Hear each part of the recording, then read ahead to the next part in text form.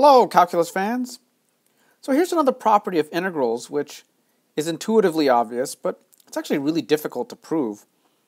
That if you integrate from a to b, you can break that up by integrating from a to c and then from c to b.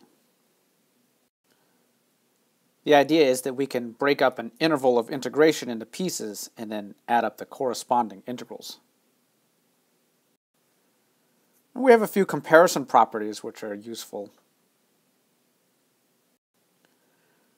Like if f of x is bigger than or equal to 0 on the interval from a to b, then the integral from a to b of f of x is bigger than or equal to 0.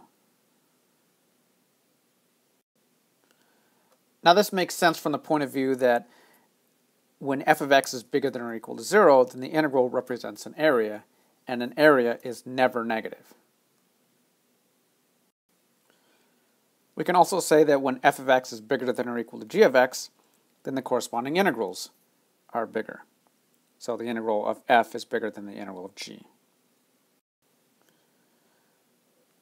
More specifically, we can have something where if a function is bounded below by little m and above by big M, then the integral will be bounded above and below. The lower bound will be little m times b minus a, and the upper bound is big M times b minus a. We'll use these sort of bounds from time to time. Okay, that's all for now.